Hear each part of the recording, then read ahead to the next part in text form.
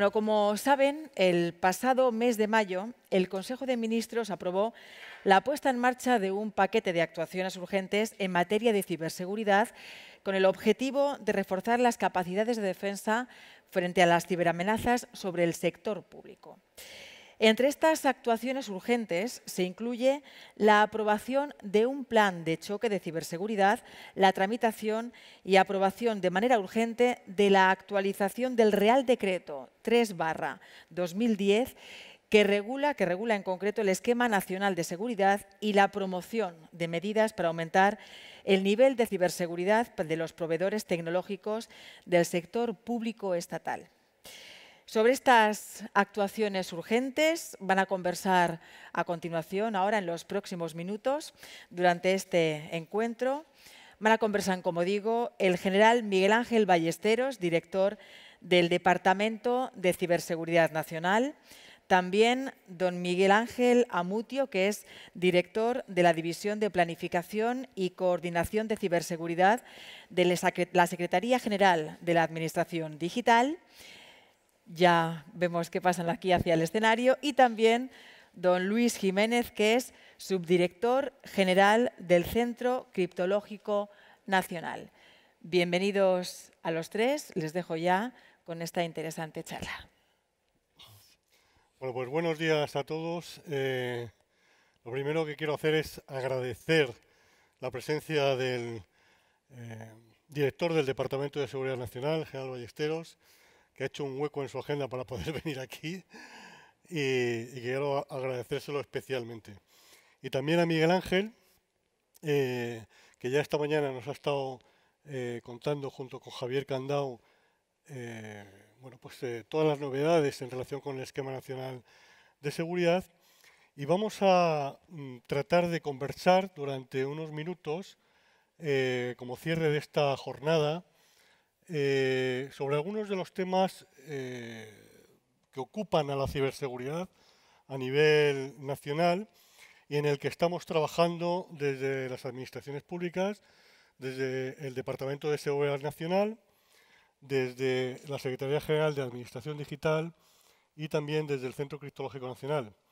Eh, hay mucha actividad en el ámbito de la ciberseguridad, tanto a nivel de la Unión Europea, eh, a nivel nacional. Hay mucha actividad en el Consejo Nacional de Ciberseguridad. Y voy a empezar por ahí, mi general. Voy a, preguntarte y voy a, darte la palabra para que nos comentes un poco eh, algo que se está eh, haciendo en el seno del Consejo, que viene reflejado en la Estrategia Nacional de Ciberseguridad del 2019 y que no es otra cosa que el Foro Nacional de Ciberseguridad. Eh, para comentarnos y charlar un rato sobre qué es lo que estamos haciendo y, qué es lo que esté... Bueno, pues buenos días a todos. Muchas gracias, eh, Luis. Es un placer compartir eh, esa redonda, no es redonda la mesa, con, con Luis y con, y con Miguel Ángel y agradezco la oportunidad al Centro Criptológico Nacional. El Foro, el Foro Nacional de Ciberseguridad es un organismo de colaboración público-privada en materia de seguridad nacional, dentro del esquema de seguridad nacional. Ha sido el primero y la verdad es que está dando un resultado excepcional. Este Foro Nacional de Ciberseguridad se contempla su creación en la, en el, concretamente en la Estrategia eh, Nacional de Ciberseguridad de 2019 y se puso en marcha concretamente, fue eh, aprobado su creación por el Consejo eh, de Seguridad Nacional en febrero de 2020. Se puso en marcha en julio, en julio de 2020 se puso en marcha. Y ya, ya hay frutos, ya, hay, ya ha dado eh, resultados. primero, ¿quién compone este foro? Pues 15 organizaciones, desde la COE, la, autónomos, Em, em, miembros de eh, sindicatos, de mm, eh, eh, em, revistas o prensa especializada en, materia de ciberseguridad, las universidades a través de la CRUE, centros de investigación y también centros de, pensamiento. 15 en total organizaciones, no se está en el, foro a título personal, se está a título de representación de estas organizaciones que, tienen algo que aportar en el ámbito de la ciberseguridad. Y eh, ha tenido ya varias reuniones y fruto de este foro lo primero que se ha hecho ha sido, se crearon tres grupos de trabajo para eh, trabajar de forma conjunta. Debo decir que mm, donde ha trabajado más lo privado que lo, que lo público, lo público ya tiene sus propias sus propias estructuras y esos tres grupos pues han trabajado el primero en cómo aumentar la cultura de ciberseguridad en España, hacer un análisis de la situación y cómo fomentar esa, cultura de seguridad en España. El segundo grupo de trabajo ha sido eh, para trabajar en cómo se puede apoyar el I+D en materia de ciberseguridad y el tercer eh, grupo ha sido concretamente dedicado a la formación, al talento en materia de ciberseguridad. Y, estos tres grupos han trabajado, ya han entregado sus, propuestas, sus eh, reflexiones y eh, eso se ha convertido en un libro, además de un resumen ejecutivo que está esperando ya la aprobación del Consejo de Seguridad Nacional, que por deferencia pues lo tiene, lo tiene que ver para proceder ya a su, publicación.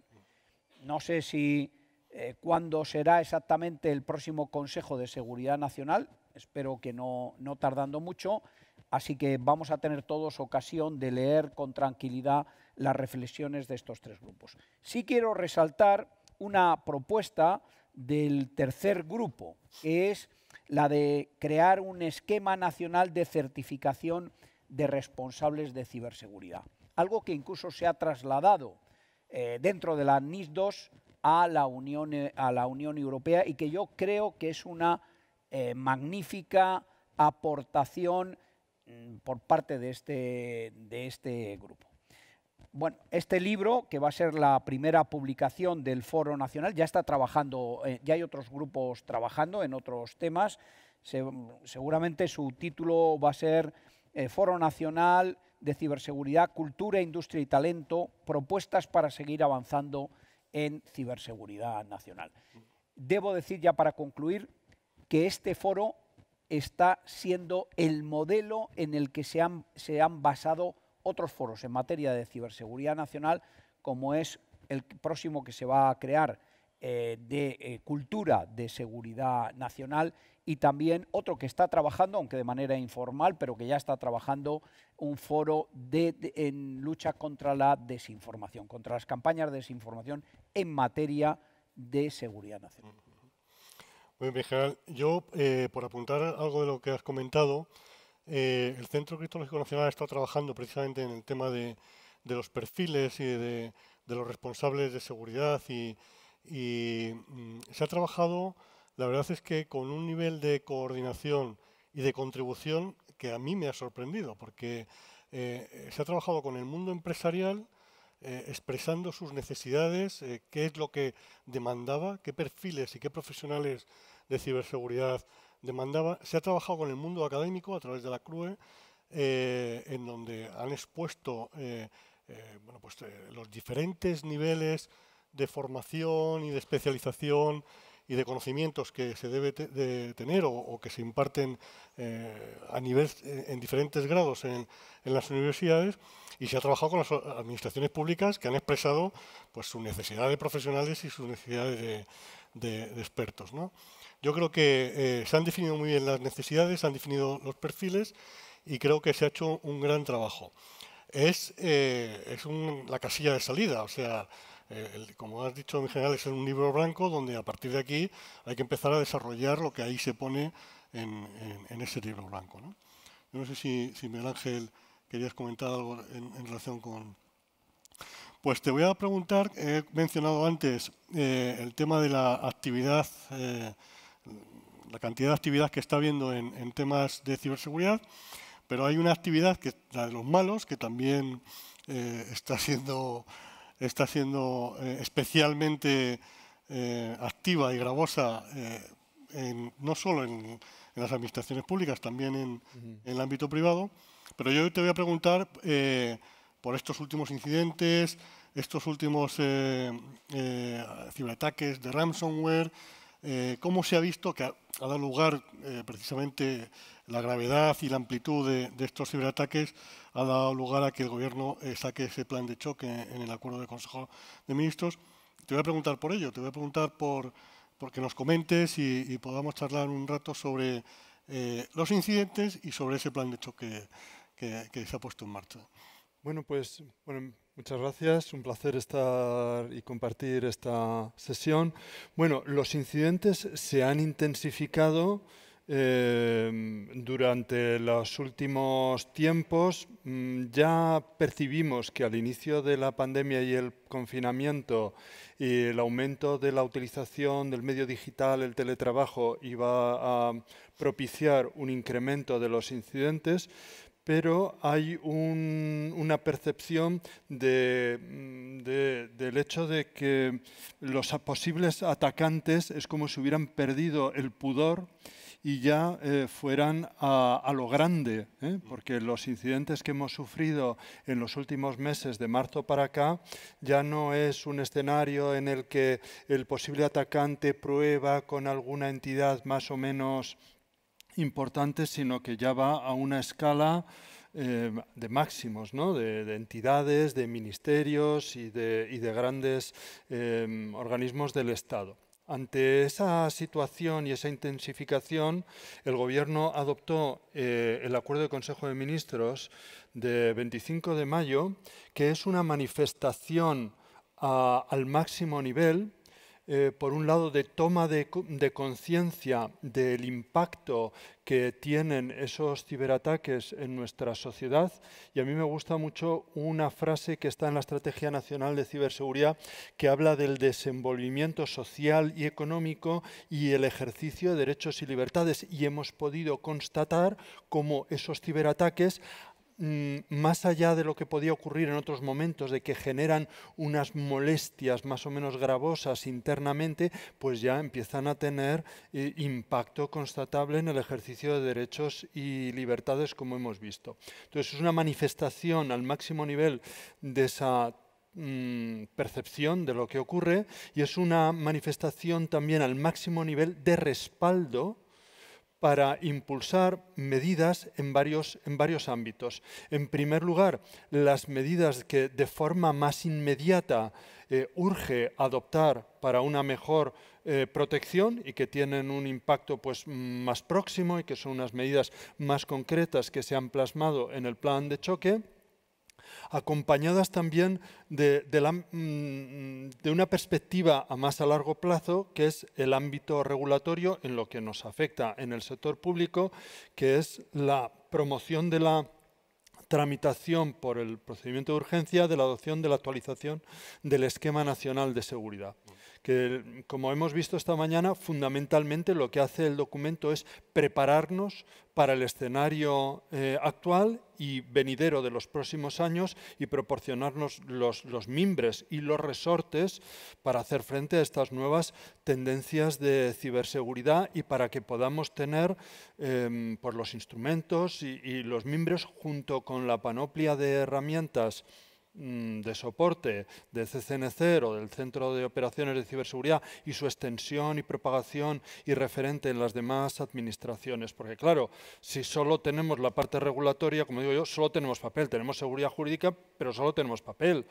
y necesitamos también las herramientas sobre el terreno. Por eso el plan de choque Em, digamos, viene a empujar cuestiones que ya estarían en el esquema nacional de seguridad, en el vigente y en el que viene, pero claro, que se ha puesto ya eh, de manifiesto que es ineludible, ineludible que tengamos el doble factor, que tengamos los agentes en, en el punto final en los puestos, que tengamos la protección frente al ransomware, que extendamos la conservación de los registros de trazabilidad para facilitar la, investigación de los incidentes y luego todas esas capacidades de ciberinteligencia, de búsqueda de amenazas, de monitorización de la dark web, de, mm, seguimiento de las credenciales comprometidas. Es que mm, nos va en ello nuestra ciberseguridad.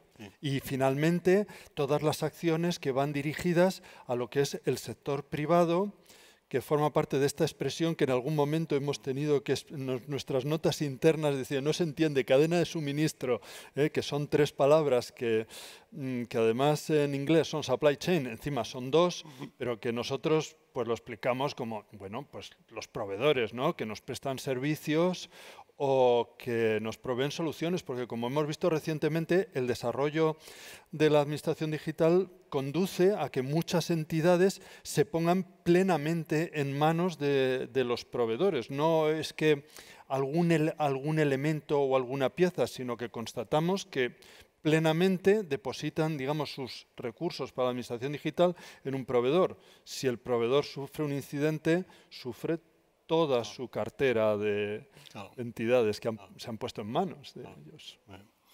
Bueno, yo quiero eh, eh, abundar un poco o apuntar un, detalle, eh, una opinión nuestra desde el Centro de Criptología Nacional en relación con el plan de choque. Yo creo que es la primera vez que se habla de ciberseguridad aterrizando medidas muy concretas y muy tasadas y valoradas que hay que implementar en los sistemas de información de las administraciones públicas. Yo creo que eh, prácticamente has mencionado todas las, medidas, pero sí que es cierto que, yo por lo menos en, toda mi experiencia es la primera vez que veo en un documento del Consejo de Ministros eh, y publicado eh, en el Boletín Oficial del Estado un, conjunto de medidas que ya, como tú has bien, has mencionado, ya estaban en el Esquema Nacional de Seguridad, hay muchas normativas, en muchos estándares a lo largo de, todo lo que es la evolución de la ciberseguridad, pero que se han visto negro sobre blanco en un boletín oficial del Estado medidas inmediatas y concretas que hay que implementar en los sistemas de información. Y ahora yo te pregunto, Efectivamente, dame tu opinión sobre cuáles son aquellas medidas más difíciles que va a costar desplegar. No por el volumen de dinero, que eso es un factor a tener en cuenta, sino por, eh, la, mm, por la ruptura que supone la medida con lo que se viene haciendo o con, lo, o con la falta de, concienciación o de práctica o de eh, experiencia en, relación con, con esas medidas. Por ejemplo, Ahora mismo con el tema del teletrabajo, pues es evidente que eh, el, doble factor de autenticación es una medida importantísima que hay que implementar y que hay que implementar ya, ¿no? Pero es una medida que, en mi opinión, pues es, digamos, fácil de, implementar porque la tecnología ofrece muchísimas soluciones, porque es una medida que procedimentalmente también ofrece muchas eh, soluciones, pero ¿existe alguna medida especialmente difícil de implementar? ¿O que va a costar más trabajo mm, implementar? Bueno, vamos a ver. Curiosamente hemos empezado por sondear cómo están todas las entidades en relación con la utilización del doble factor, los tiempos de retención de, los, los los ficheros de trazabilidad y, urgiéndoles a que se apunten al servicio Trillion de identificación de, credenciales. Eh, luego, pues hay otro tipo de, de medidas, algunas más de trastienda mm, que se citan menos y que nos, nos costarán. ¿eh? La parte de segmentación de las redes, eh, la copia de seguridad desconectada, etcétera, ahí puede haber unas cuantas medidas que nos pueden contar, costar algo más. Yo creo que eh, la, audiencia tiene que conocer que cuando estamos hablando de algunas de estas medidas, estamos proyectando a unos colectivos inmensos mm, el, proteger los, puestos con el agente de punto final, con el anti-ransomware, el, doble factor, etcétera. Eh, si hablamos, por ejemplo, del colectivo de entidades en el ámbito del Centro de Operaciones de Ciberseguridad, estamos proyectando a 150.000 o 180.000 puestos, o sea que ahí hay, una, hay un esfuerzo práctico. Y luego pues hay otras medidas que estaban contempladas ya en, nuestra legislación, como la Plataforma Nacional de Notificación y Seguimiento de Ciberincidentes, que está también ahí, y bueno, pues eh, también tendrá su recorrido y su esfuerzo. Y las que, medidas que quedan un poco más, más amplias y probablemente mm, han requerido mayor dotación y que tendrán una mayor dificultad son las que van dirigidas a los actores del sector privado, son esas medidas que, que tienen llamadas a que adopten medidas de planes de, de continuidad mm. Eh, y de recuperación y, que implanten de forma generalizada eh, políticas y prácticas de ciberseguridad y concienciación, etcétera. Que bueno, la parte de concienciación estaba orientada sí a entidades del sector privado porque ya estamos cubriendo a través de los planes y las actividades del CCN y el INAP y bueno, pues lo que es la, formación de personal especialista en el sector público, etcétera. Pues yo creo que, coincido plenamente con tu, diagnóstico. Eh, muchas de estas medidas eh, eh, están basadas en el intercambio de información y en la compartición de, esta información, por ejemplo, la Plataforma Nacional de Gestión de Incidentes, pues su, su, su leitmotiv es todo aquello que nos viene de Europa y que hemos trasladado a nuestro ordenamiento jurídico en relación con con el conocer exactamente qué es lo que está ocurriendo en nuestros sistemas y tener unas métricas para, medir los incidentes. Esto nos viene de Europa. Hay una labor importantísima, eh, a lo mejor desconocida, que hace el Departamento de Seguridad Nacional, que es la coordinación con Europa. Eh, eh, el, Departamento de, de Seguridad Nacional, que ejerce de Secretaría del Consejo Nacional de Ciberseguridad, tiene esa misión y ese cometido de coordinar con Europa pues, eh, todos estos aspectos de intercambio de información, todos estos aspectos de eh, eh, armonizar políticas, etcétera, etcétera. Mi general, te cedo la palabra para que nos cuentes un poco esa labor tan... Pues este es un, esto yo creo que es un aspecto fundamental hay que coordinar internamente a nivel nacional, pero también es muy importante ese intercambio con la, con la Unión eh, Europea de, conocimiento. Además de que hay parte de la legislación, la iniciativa NIS, ahora en revisión, que luego es de aplicación, que, nos ha obligado a nosotros a desarrollar todo un, real decreto eh, que es de finales de, de, creo recordar, octubre de 2018, que ahora está en revisión. Por lo tanto, antes de que te impongan una reglamentación sin que tú tengas nada que opinar, es preferible participar en su, eh, elaboración. Y en eso, en eso estamos. Y ese punto de contacto, en efecto, es el Departamento de Seguridad Nacional. Eh, en diciembre pasado, el día 16 de diciembre de 2020, de diciembre, se aprobó una nueva estrategia de ciberseguridad de la Unión Europea, que contempla cuatro pilares, básicamente. Contempla eh, el mercado, el mercado interior de la Unión Europea, las aplicaciones de la ley, hay leyes nacionales, pero hay leyes de la Unión Europea que, que son de obligatorio eh, cumplimiento, la diplomacia, recuerdo que nosotros tenemos un embajador especial para la ciberseguridad y la, y la defensa. Y eso mm, sirve para desplegar tres instrumentos principales, que son el regulatorio, el de inversiones. Ahora va a haber una importante inyección económica, ahora hablaré de, ello, para los, próximos, para los próximos siete años, que hay que aprovechar, que es verdad que es la suma de lo que aporta la Unión Europea, de lo que aportan los países y de lo que se espera que aporte también eh, las empresas y las entidades privadas. Pero estamos hablando de miles de millones. Y estos instrumentos eh, de, la regulación, la inversión y la política, eh, abordan, se abordan, eh, abordan tres áreas de acción. La primera es, y lo leo para no dejarme nada, la resiliencia, la soberanía tecnológica y el liderazgo. La segunda es desarrollar capacidad operativa para prevenir, disuadir y responder. Yo creo que cada día entra más en valor la disuasión de la ciberseguridad. Y me voy a explicar. La disuasión es esto que ha hecho el presidente Biden en sus conversaciones, en su conversación con el presidente Putin.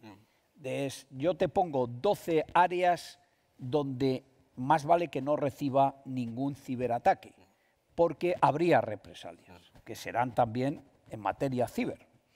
Esto, eso se llama disuasión. Esto no se ha puesto hasta ahora en, valor y esto eh, hay, que, hay, que, tenerlo eh, en cuenta. Y luego la, eh, la, promoción de un ciberespacio abierto, esto es fundamental en el espacio europeo. Esas áreas contienen importantes medidas. Una de ellas es el ciberescudo.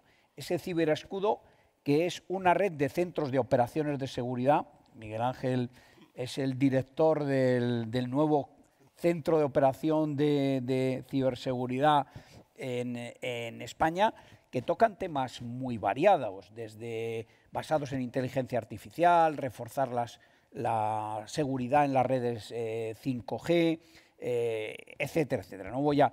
Y una cosa que quiero también resaltar aquí. La Unión Europea aprobó el pasado, el pasado día 3 de junio, aprobó el reglamento eh, EIDAS, que es el de la identidad digital europea autogestionada, basada en blockchain. Pero también basada, hay que decirlo, en que la autoridad que tiene la capacidad de impartir identidad nacional, en cada país hay una autoridad. En el caso español es Policía Nacional, es Ministerio del Interior. Y que eso tiene que estar necesariamente eh, coordinado y trabajado. Y esto, este es uno de los retos que tenemos ahora eh, por, delante. Entonces, ya para terminar, la revisión de la iniciativa eh, de, la NIS 2. Mm. Bueno, hay que, hay que recordar que España nos dan cuando se implantan estas medidas en Europa te dan 18 meses para que te mm. las implantes. Y si no lo implantas en ese tiempo, empieza las penalizaciones. Nosotros en la anterior iniciativa, por razones eh, coyunturales, políticas, tardamos un poco más de, de los 18 meses, pero también tuvo una ventaja, y es que nos adelantamos a meter cosas que Europa en ese momento no pedía y que ahora en la iniciativa, en la directiva NIS 2, sí están exigiendo. Nosotros ya vamos por adelantado en ese, en ese aspecto. Y también nos ha permitido lo que decía antes, eh, eh, aportar propuestas como la, a la que nos referíamos antes, eh, de los CISOs, de regular todo ese aspecto, que yo creo que es fundamental. Esto va a ayudar a las empresas, va a ayudar a la administración y yo creo que va a ser algo sumamente importante. Entonces, en materia de ciberseguridad, la Unión Europea tiene que juega un papel fundamental y, nosotros tenemos un, esquema de, ciberseguridad que es el propio de un país muy descentralizado, que a una organización supranacional como es la Unión Europea le va a servir o le puede servir de eh, modelo de referente. Así que eh, creo que es un tema importante. Eso doy fe porque cuando yo salgo por ahí y me reúno con colegas o homólogos, eh,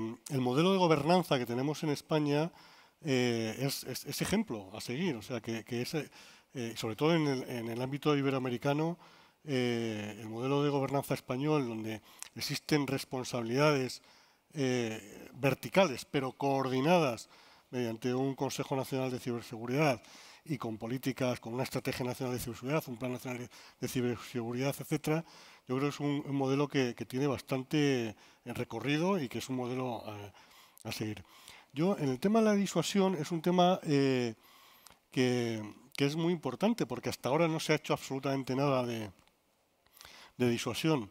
Ayer eh, se dio a conocer la Cybersecurity Unit de la Unión Europea, que, es, eh, que es, eh, va a ser una, entidad, una unidad que va a recoger los diferentes aspectos, eh, tanto el aspecto policial con Europol, el aspecto de los CER, con la red de CER nacionales y con la red de, de centros de operaciones de ciberseguridad, pero que tiene una parte de ciberdiplomacia va a recoger las diferentes mm, partes del problema para poder elaborar una postura común eh, de la Unión Europea con datos reales, con incidentes reales, con eh, profesionales de la, diplomacia formados y, específicos para tratar estos temas, de manera que la Unión Europea pueda dar su respuesta y su disuasión con respecto pues, a, los ciberataques. Yo creo que es una buena iniciativa que viene de la, de la nueva estrategia de ciberseguridad europea y que veremos a ver cómo, cómo sale adelante, pero vamos, mm. eh, en principio suena bien y, contribuirá a, eso. Si me permite, Luis, mm, eh, para aplicar la disuasión en materia de ciberseguridad, cuantos más seamos mejor. Si es la Unión Europea la que avisa a un país de atente a las consecuencias, es mejor que si el mensaje se lo manda un país concreto. Entonces, no somos Estados Unidos cada uno de los países miembros, pero la Unión Europea en conjunto tiene mucha, eh, tiene, tiene fuerza. Entonces creo que en, materia de disuasión, de ciberseguridad, así como la OTAN tiene una, una importancia tremenda para mandar mensajes de disuasión convencional, la Unión Europea eh, y también la OTAN, pero pueden mandar ese, ese mensaje de, de, disuasión en ciberseguridad de forma mucho más contundente que un, que un país. Eh, Totalmente de acuerdo. Bueno, me están diciendo que corte, yo seguiríamos aquí hablando, hay 50.000 temas para, para charlar y dialogar. Y nada, reiterarte, mi general, las gracias por estar con nosotros eh, en este cierre de, de estas jornadas. También reiterar a ti, Miguel Ángel. Y bueno, decirles a todo el público que nos está escuchando que vamos a seguir trabajando y que mm, se nos ve, que estamos implicados y que nos gusta el tema y que eh, nos, estamos totalmente motivados ¿no? en relación con, con la ciberseguridad nacional. Muchísimas gracias y Un paso a, Ángeles para que... Que os gusta el tema y que entendéis del tema. ¿eh? Todo se ha dicho. gracias. gracias, gracias. Muchísimas gracias. Os invito a que os quedéis aquí en el escenario, eso sí, un momentito, aquí en pie. Si os quedáis ahí a este lado, retiran un momento las sillas, pero sí que os invito porque os voy a necesitar aquí en este escenario durante los próximos segundos. Bueno, desde luego la perspectiva de los organismos que representan aquí los ponentes que acabamos de escuchar es fundamental en esta cuestión y la precisión de sus aportaciones sin duda alguna nos ha permitido conocer más detalles en más detalle el alcance de estas actuaciones urgentes. Quiero darle las gracias por haber podido contar con su participación aquí en esta jornada durante esta mañana en una conversación sobre esta materia, como decíamos, además, aprobada recientemente y de total, total actualidad. Es que les invito a que permanezcan, como les he dicho, para proceder, sin más dilación, a la entrega del reconocimiento a la contribución para que el esquema nacional de seguridad sea un estándar de referencia. Por todo el trabajo desempeñado en este ámbito, por su esfuerzo y también por su compromiso con el esquema, se entrega este premio a un profesional de la seguridad TIC referente a la, en referente a la integración de sistemas de gestión. Recibe este reconocimiento a su labor y a su contribución a la ciberseguridad don David López Rodríguez, fundador de Cibergop, empresa especializada en el gobierno de la ciberseguridad en las administraciones públicas y pymes que ha colaborado con el Centro Criptológico Nacional de una manera incansable y proactiva para difundir este esquema, el ENS, a los sitios más recónditos del territorio nacional. David, un reconocimiento merecido.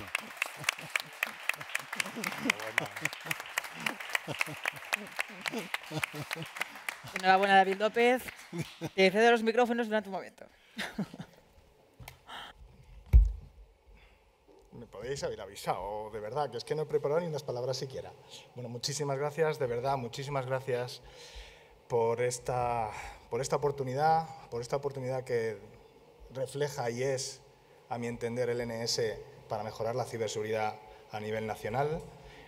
Yo quiero, de verdad, estoy muy agradecido al Centro Criptológico Nacional por la oportunidad que me ha prestado de participar de, esta, de este reto, porque al fin y al cabo es un reto que nos une a todos y del que necesitamos todos participar para que salga bien. Muchísimas gracias, de verdad. Estoy muy agradecido. Muchísimas gracias. Ya podéis tomar asiento tranquilamente. Gracias y enhorabuena. Enhorabuena de verdad. Bueno, enhorabuena por este premio David López y gracias, como decía, al general Miguel Ángel Ballesteros, a don Miguel Ángel Amutio y a don Luis Jiménez. Gracias por esta participación en este acto de clausura, que como les decía al comienzo, estamos celebrando en estas fantásticas, en estas maravillosas instalaciones que la Federación Española de Municipios y Provincias tiene aquí en el mismísimo centro, en el corazón de Madrid. A lo largo de este acto hemos estado hablando de la ciberseguridad desde diferentes perspectivas. Como saben, la ciberseguridad es también pilar fundamental para salvaguardar y asegurar el crecimiento de organismos y de organizaciones y es pieza clave de la digitalización y de los planes de transformación digital. Por ello es un auténtico placer y un auténtico honor contar en este acto de clausura con la intervención de doña Karma Artigas, secretaria de Estado de Digitalización e Inteligencia Artificial. Buenos días, secretaria. Buenos días. Es un placer tener la oportunidad de participar en este tercer encuentro del Esquema Nacional de Seguridad, ENS, y la décima edición de la Jornada del Sistema de Alerta Temprana. Quiero en primer lugar agradecer al Centro Criptológico Nacional la organización de estas jornadas que considero tan importantes de cara a continuar ofreciendo un marco común de seguridad alrededor del sector público y fomentar el flujo de conocimiento entre nuestras administraciones. Una colaboración imprescindible dando el actual contexto de digitalización con el objetivo de seguir avanzando en los niveles óptimos de ciberseguridad para abordar con todas las garantías las profundas transformaciones que afronta nuestro país en clave digital. La consolidación de la ciberseguridad como pilar fundamental para garantizar la seguridad nacional y la creación de una nueva sociedad digital basada en la confianza es, sin duda alguna, uno de los grandes retos que afrontamos globalmente. Nos encontramos en un contexto lleno de cambios e incertidumbres propias de las profundas transformaciones que afrontamos, en el que la ciberseguridad es un elemento crítico para el éxito de una digitalización al servicio de la ciudadanía y del progreso económico y social. Un objetivo prioritario en nuestros planes de digitalización que además supone una excelente oportunidad para el crecimiento económico e industrial en torno a un sector en auge que debemos impulsar con el sector público como referencia de una estrategia nacional orientada a fomentar y divulgar la cultura de la ciberseguridad. Una estrategia que en el caso español se articula a través de la Agenda España Digital 2025, en el que la ciberseguridad tiene un papel relevante. Este gobierno tiene el compromiso de abordar las inversiones que nuestro país necesita para convertirse en un verdadero foco de innovación y desarrollo de la industria de la ciberseguridad con la administración pública a la cabeza de las profundas transformaciones que afrontamos. Muestra de este papel de la Administración como punta de lanza de la ciberseguridad es el excelente trabajo que se viene realizando en esta materia, tanto desde la Secretaría General de Administración Digital como desde el Instituto Nacional de Ciberseguridad INCIBE, siendo este último organismo público de referencia en nuestro país para el desarrollo de una industria de la ciberseguridad sólida e innovadora, a través del que se articula la puesta en marcha de un nuevo plan estratégico 2021-2025. Un plan absolutamente alineado con la Agenda España Digital 2025, mediante el que el Gobierno invertirá más de 450 millones de euros en los próximos tres años para el impulso de la industria de la ciberseguridad y la captación del talento en España. Además, la ciberseguridad es también un objetivo básico dentro del plan de digitalización de las administraciones públicas que contempla, entre una de sus medidas más importantes, el desarrollo de una estrategia de ciberseguridad integral para todas las administraciones públicas. Objetivo para el cual el plan contempla la constitución del Centro de Operaciones de Ciberseguridad orientado a garantizar la protección de la Administración General del Estado y mejorar la prevención, detección y respuesta ante posibles incidentes de ciberseguridad. Con estos retos por delante y esta hoja de ruta clara, vamos a seguir trabajando para consolidar a España como un nodo internacional del sector de la ciberseguridad y para alcanzar el objetivo de convertirnos en el quinto país más ciberseguro del mundo. Porque una España más cibersegura es posible. Con el talento y esfuerzo de todos, estamos ya haciendo la realidad. Muchas gracias. Muchas gracias. Gracias, doña Karma Artigas, secretaria de Estado de Digitalización e Inteligencia Artificial, por sus palabras y por haber participado aquí, haber participado en esta tercera edición del encuentro del ENS. Con su intervención concluye ya este acto del tercer encuentro del ENS.